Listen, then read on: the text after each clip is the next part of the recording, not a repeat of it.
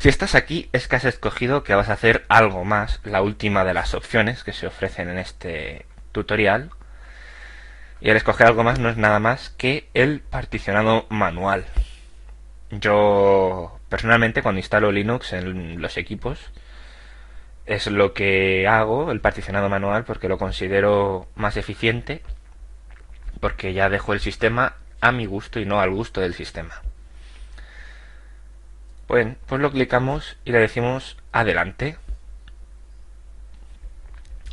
Y bien, aquí vemos un diagrama, un diagrama en el que aparece una barrita verde y una barrita gris. La barrita en su conjunto, sumando lo verde y lo gris, representa el disco duro. Y lo verde, en este caso, representa a Ubuntu, a un Ubuntu que yo ya tengo instalado, pero que puede representar vuestro Windows, otra partición de Ubuntu, otra partición con otra distribución de Linux, con lo que sea. Entonces, vamos a proceder a hacer las particiones. Para instalarlo al lado del Windows, pues cogemos aquí el espacio libre y le decimos añadir. Y nos sale que un menú de crear partición. Tipo de la nueva partición primaria o lógica. Da igual. da igual porque... Bueno, os voy a explicar antes un poquito de teoría para que entendáis bien qué quiere decir esto de primaria o lógica. En un disco duro puede haber como máximo cuatro particiones, que son particiones primarias. Entonces, como cuatro particiones se quedan cortas en muchas ocasiones, pues inventó un nuevo tipo de partición que se llama la partición extendida. Una partición extendida es un tipo especial de partición primaria, de modo que dentro de esa partición extendida puedes meter se dice por ahí que hasta infinitas particiones lógicas, pero no, porque en un disco duro, contando las particiones lógicas y las primarias, puede haber un total de 14. Más de 14 no puede haber. Siempre y cuando hablemos de discos duros tradicionales con su MBR y no CPT, creo que se llama, que es el nuevo, es nuevo sistema que ya permite tener más particiones. Pero vamos, este sistema lo trae los discos duros nuevos y también traen MBR. De modo que no tenemos que preocuparnos. Y tomaremos como límite 14 particiones, ¿vale? Las particiones primarias siempre se van a nombrar de 1 a 4.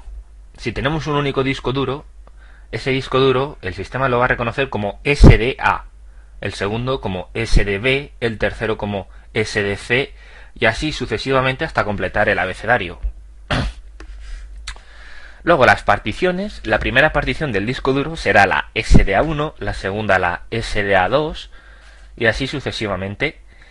De modo que las particiones primarias siempre van a ocupar las cuatro primeras posiciones.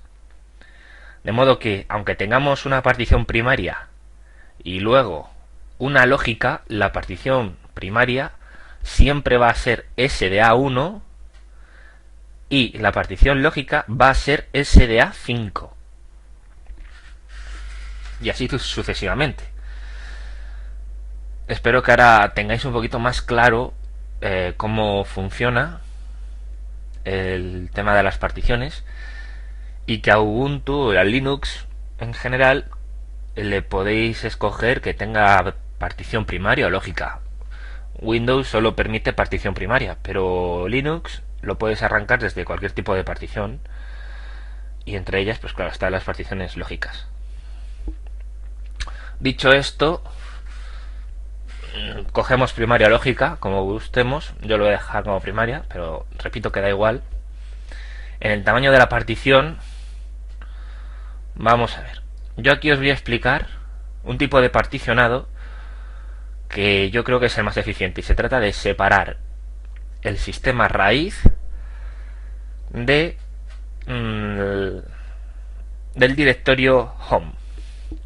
El sistema raíz es donde se van a instalar todos los programas, donde va a estar la base del sistema. Y el directorio home es donde se van a ir guardando las carpetas de los usuarios, es decir, Si tu nombre de usuario es Peter, pues vas a tener una carpeta que va a ser Peter dentro de la carpeta Home. Y dentro de esa carpeta Peter se va a guardar tu historial del navegador, tus descargas, las preferencias del sistema, todo se va a guardar ahí. De modo que si lo separamos del resto del sistema, cuando en el futuro querramos, por ejemplo, actualizar a la nueva Ubuntu o querramos instalar un nuevo, una nueva distribución de Linux, solo tendremos que cargarnos el sistema raíz. Y así, teniendo, conservando la partición home, vamos a tener todas nuestras preferencias y demás guardados cuando reinstalemos los programas. Espero haberme explicado con suficiente claridad. Y bueno, vamos a ir a ello, porque si no el vídeo se prolonga mucho. Bien, en tamaño. Lo primero que vamos a hacer va a ser la partición raíz. He escogido primaria, pero podría haber escogido lógica, da igual. En el tamaño, yo ahora mismo tengo disponibles en mi disco duro 4589 megabytes. Yo tengo muy poquito porque he escogido un... Tengo un disco duro virtual muy pequeño, solo le he dado 8 gigas y ya tengo otro Ubuntu instalado. De modo que lo que es espacio no me sobra. En términos reales, ¿cuánto espacio otorgarle a, a la partición raíz del disco duro? Yo como máximo, máximo, máximo y ya me estoy pasando 20 gigas. 20 gigas es más que suficiente, porque hay que tener en cuenta que solo se van a instalar ahí los programas y la inmensa mayoría de los programas para Linux ocupan muy poquito. Con esto no quiero decir que sean malos. Yo aquí pues le voy a dar 2 mm, gigas.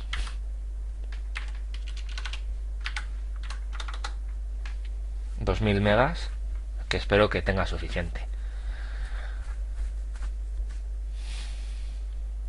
ubicación de la partición principio final si recordamos el diagrama el principio, esto vendría a tener el orden de, de, escritura occidental, vamos, de izquierda a derecha.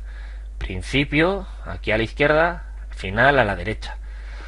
Podéis escoger lo que queráis, izquierda o derecha, principio o final. Yo, a mí me gusta tener el disco duro más o menos ordenadito y lo voy a poner al principio para que la partición raíz de esta segunda, de este Ubuntu, esté concatenado con el anterior sistema operativo que ocupará más o menos hasta aquí, la nueva partición. Y el sistema de ficheros es el formato que le queremos dar a la partición. Esto vendría a ser el equivalente al NTFS de Windows o al famoso FAT32. ¿Y qué formato darle? Bien, el de Linux ofrece muchos, muchos formatos. El mejor de todos estos es el BTRFS. Es muy nuevo, todavía no está totalmente soportado, aunque le falta poquito y es suficiente y está suficientemente estable como para utilizarlo sin peligro alguno de pérdida de datos como sistema principal, aunque yo le daría más tiempo porque estas cosas, pues quieras que no, requieren de cierto rodaje. Y el siguiente en prestaciones, por así decirlo, se trata del EXT4. EXT4 es bastante moderno, lleva con nosotros pues unos tres años o poco más. Está ya bastante maduro y tiene unas especificaciones muy buenas. De modo que yo en vuestro lugar escogería XT4. Ya habrá tiempo de meter BTRFS. Y como punto de montaje, como vemos aquí, el punto de montaje tienen todos una barrita inclinada y en esta que no pone nada es la raíz. La raíz es el sistema base, que es lo que nosotros queremos ahora.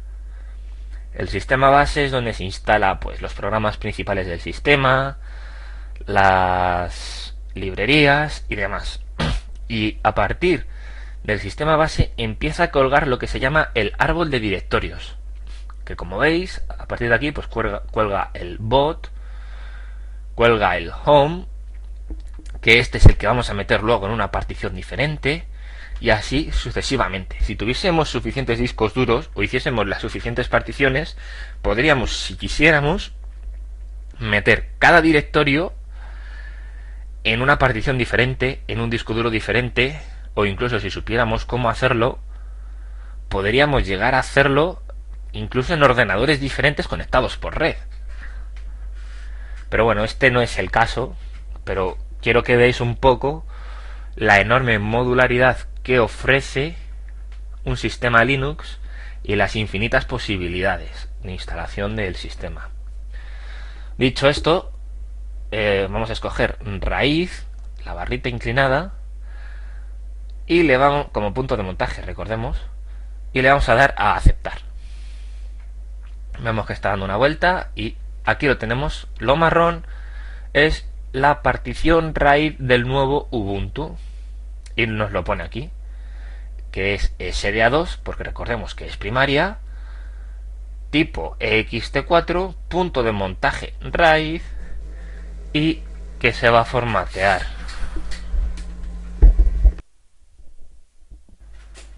Se formateará, como decía, la partición y tamaño 1999 megas. Usado, desconocido, porque claro, no hay nada usado porque todavía ni siquiera la hemos formateado. Porque de momento todo lo que hagamos aquí no se aplica al disco duro, sino que se queda como hecho un borrador y una vez que terminemos y le digamos a instalar ahora, entonces será cuando se apliquen los cambios. Ahora vamos a hacer la partición Home. Volvemos a escoger espacio libre, añadimos una nueva partición. Esta vez voy a dejar lógica, pero repito, da igual. Y en el tamaño le voy a dar también 2000, 2100, porque como va a tener más tamaño, es donde voy a descargar las cosas y demás, es recomendable que le deis más tamaño que a la partición raíz, 50 gigas o todo lo que queráis. Cuanto más grande, pues más cosas podréis almacenar. Bueno, le voy a dar 2000 Igual, principio, sistema de ficheros, lo dejo tal cual, ext4 y punto de montaje home. Aceptamos.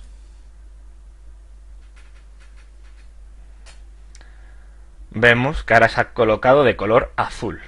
Y vemos que aún tenemos algo de espacio libre en el disco.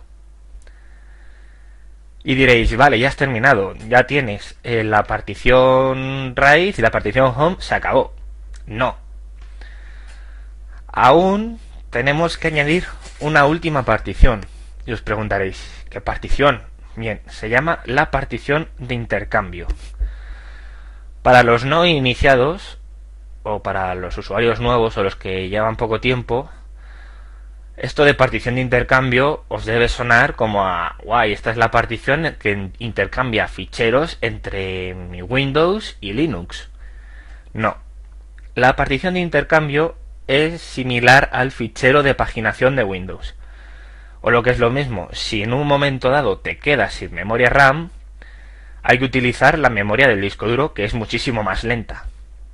Entonces, el Linux lo que se hace es que el espacio otorgado a fichero de paginación, en lugar de meterlo dentro del propio sistema, lo metemos en una partición separada del sistema. De este modo, como se producen muchas escrituras y muchas lecturas de, información cuando se hace uso de esta propiedad, pues se produce mucha degradación en el disco y una fragmentación enorme. Por eso, eh, el área de intercambio tiene un formato de un tipo de formato especial y la separamos dentro de, del resto del sistema para que no nos dañe el sistema en caso de que haya de utilizarlo. Además, si hacemos uso de la famosa hibernación, que esto es que según tenemos todos los programas abiertos, se hace una copia al disco duro de tal y como tenemos ahora el sistema. De modo que cuando reiniciemos e iniciemos el sistema, aparecerá otra vez pues todo lo que teníamos abierto cuando apagamos el sistema. Todo esto se guarda en la partición swap. De modo que si tienes pensado utilizar la partición swap como...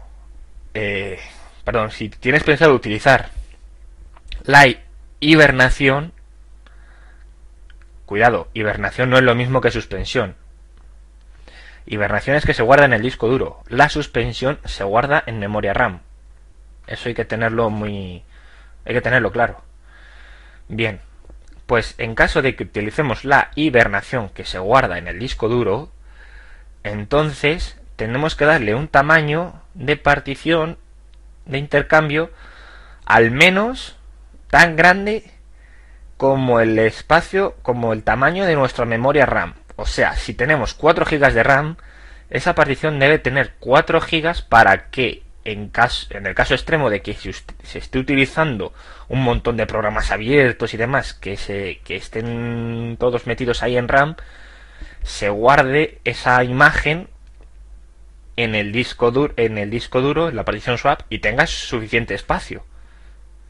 Por eso, si vamos a utilizar la hibernación, deberemos dejar tanto espacio como memoria RAM tengamos.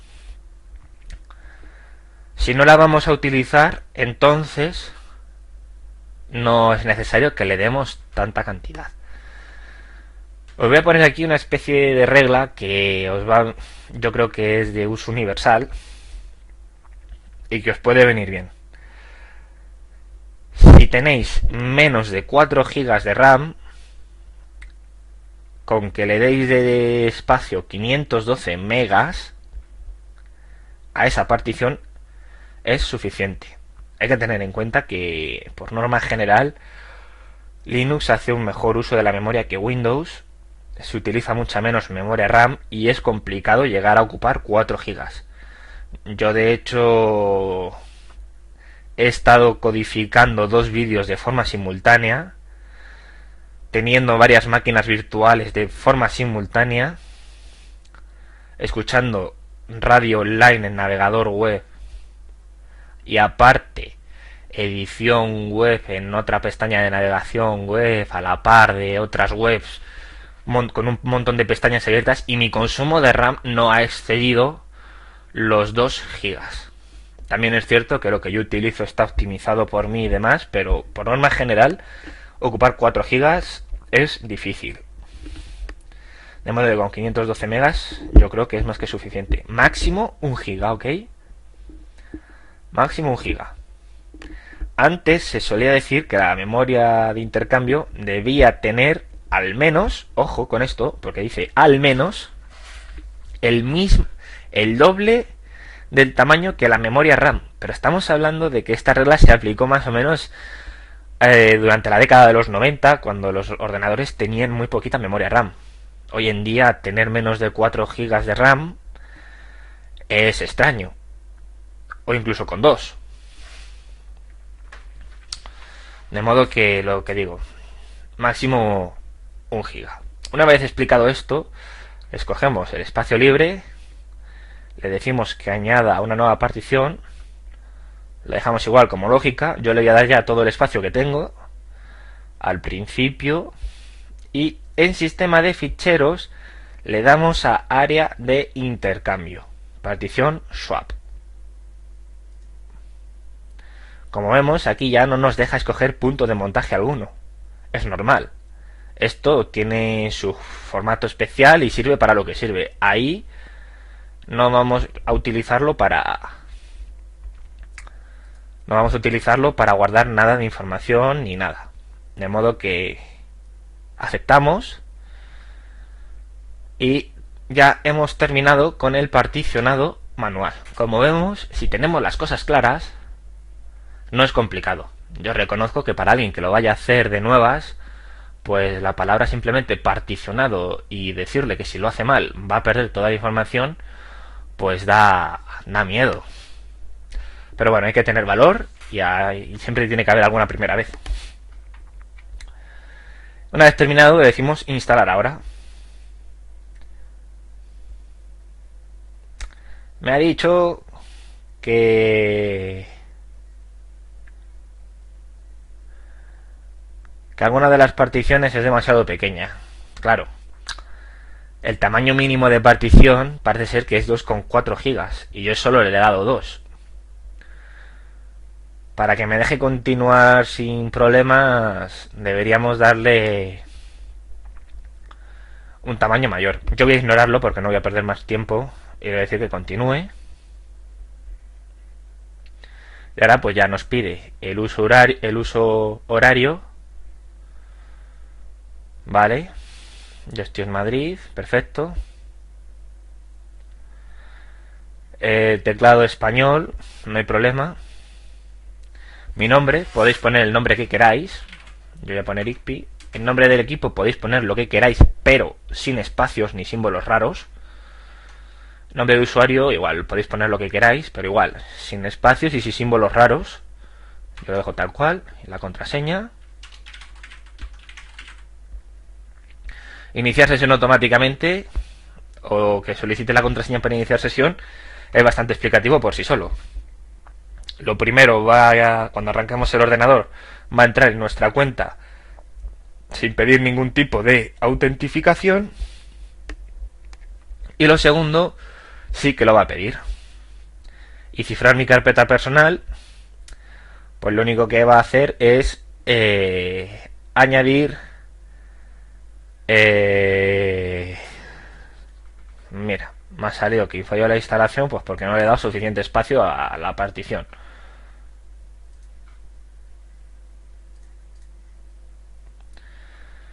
Pero bueno, como decimos, lo que quedaba era seleccionar lo del cifrado de la carpeta principal que lo que nos otorga es una mayor seguridad para nuestros ficheros. Yo personalmente no suelo escogerlo. Una vez terminado eso, le damos a adelante y la instalación comenzará. A mí se me ha cerrado, pues porque la partición que, el tamaño de partición que le he dado ha sido muy pequeño y el mínimo son 2,4 gigas y yo le he dado solo 2 pero da igual porque una vez que le hayáis dado adelante después de haber marcado las opciones empezará la instalación.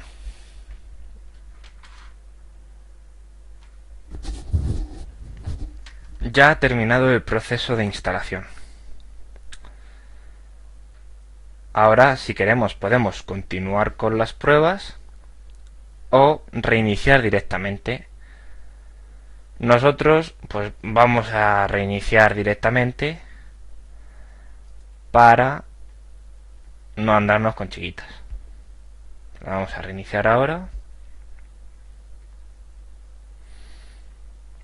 Y ahora la pantallita negra esta vemos que nos sale en color azul, el color puede variar, ya aviso, que please remove installation media and close the tray if any, then press enter.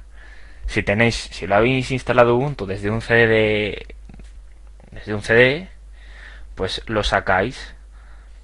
Si lo habéis instalado desde un pendrive, pues quitáis el pendrive y demás. Nosotros le vamos a dar directamente a Enter y se reiniciará. Y entonces, como lo hemos instalado, ya tenía aquí yo otro Ubuntu, pues me sale el Groove con, con el menú de instalación Pues le doy a que arranque.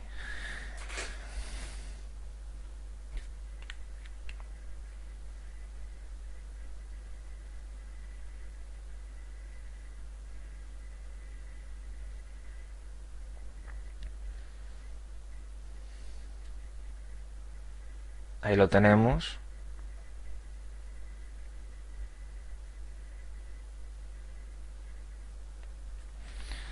nos pide el usuario porque yo le puse que me pidiera la contraseña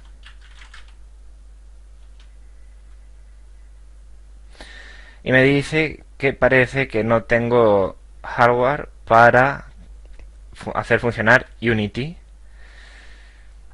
y que escoja Ubuntu Classic. Ubuntu Classic pues no es más que el GNOME de toda la vida. cerramos.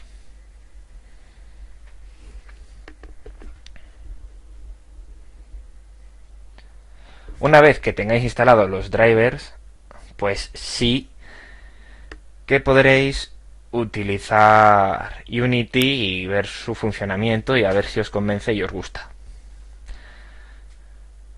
Bueno, pues Ubuntu ya está instalado. Como veis, no ha sido nada difícil. Y espero que os haya sido útil. Yo ya me despido y espero veros en otro vídeo o, poder ayudar, ayudaros con mis vídeos. Yo me despido aquí.